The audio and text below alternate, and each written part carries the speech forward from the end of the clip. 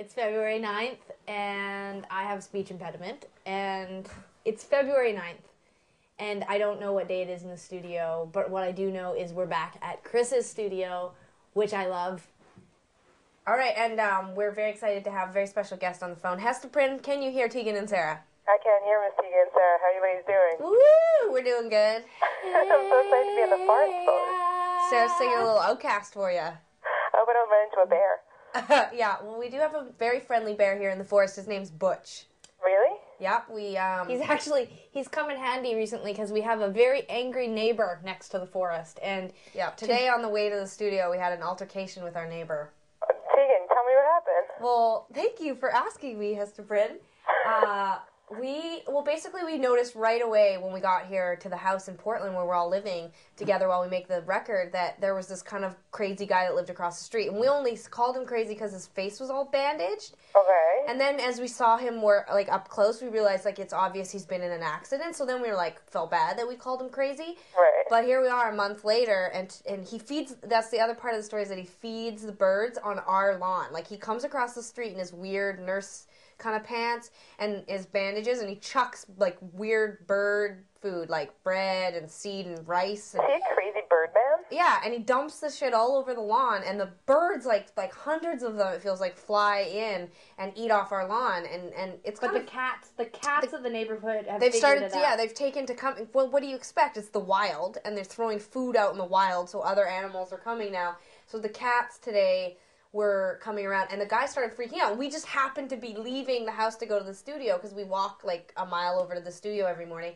And Right. and and my dad's here visiting, and so we were like, "Oh, dad, dad, dad, come see the crazy Birdman face!" And he's feeding the birds, and so the birds are all landing, and it's really crazy. Like they're circling the house, and they're landing on the lawn, and then this bird comes, I mean, this like cat that we all befriended comes running across the street, and the Birdman freaks out and runs back across the street over to our house, and he's swatting at the cat with a plastic bag and kicking it, and he's all like, "Rah, rah, rah, rah, rah."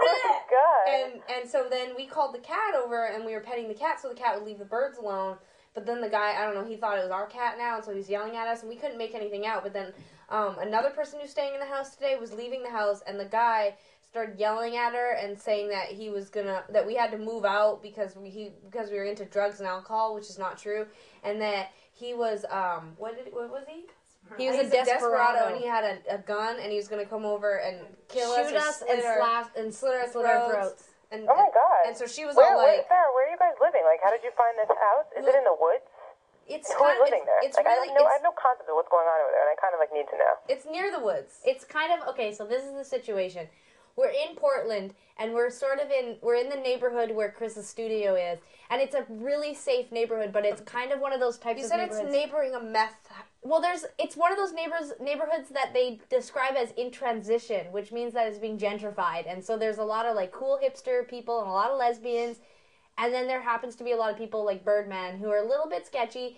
They've got you know it's like they're stopped one stop short of putting their their car on on bricks outside of the front yard. You know about this. You're from like Long Island or whatever. You know. There are no, there are no crazy bandaged birdmen on, on the part of Long Island that I am from. Question Hesta Prynn. Did Long Island iced teas come from Long Island?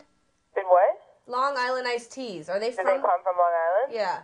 I don't know. That's a good question. I'm actually surprised I don't know the answer. I am so surprised that you don't know the answer to that. I know, but I don't drink a Long Island iced tea. I'm more of like a vodka soda type gal. I drank I drank a Long Island iced tea the last time when I was 19. No, I wasn't even 19. I was like 18. I had a shaved head and then I puked on the light light rail transit system and Sara had to rub my back and people were all staring and so Sara kept rubbing my back and yelling, "Oh, bad fajitas. Bad fajitas. Don't eat the fajitas." um I don't remember your original question because I'm drinking. you, you ladies are my kind of ladies. Um, I really said like, what is it? What's is it going to be really different than the last record? Oh right, right. Sorry. It's like half a beer. You know that you know how it gets when you haven't been drinking, and then you drink half a beer, and you're like, whoop de woo. That's Like how I that. felt when I all I ate on the plane today was animal crackers, and then I had a vodka soda to relax myself, and I was like wasted drunk on an airplane. I was like, no. That happened to me once when we were flying. To, I think. All we right, were- answer her Okay, question. sorry, sorry. Okay. Jesus. Um, I do think that this album is different from our last record, but no different than say like if it was you to so jealous. Like Right, I think it's like a normal transition. Um, it's I think it's a great record, and like it's really interesting because you know Ted, of course, our guitar slash Yeah, keyboard a player.